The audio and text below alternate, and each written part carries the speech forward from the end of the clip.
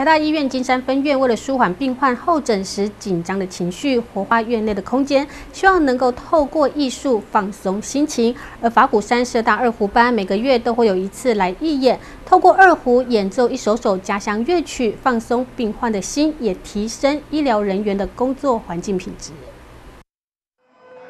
想到医院看诊检查，总是会让人紧张，血压飙高。为了要舒缓候诊的紧张情绪，花鼓山社大的二胡班每个月都会有一次来到台大医院金山分院演奏，透过台湾人最熟悉的乐器二胡以及家乡乐曲，要让患者感到放松，借此可以让音乐疗愈病心。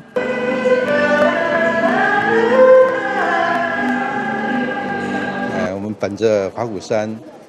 这个利己利人，啊，要服务大众的那个心情，呃，我们平常共同就一起互相学习、互相成长，然后也很愿意把我们的快乐，呃，分享给呃这个医院所有要来看病的人，呃，因为我们觉得这个是音乐有它的力量，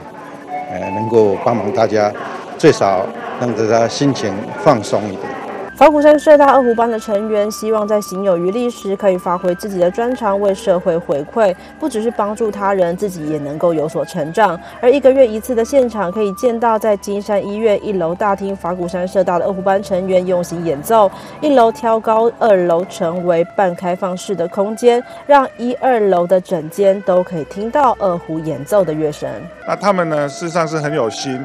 每个月都来我们金山医院。做一次的一个交流，而且提供了很好的音乐。这音乐呢，在我们的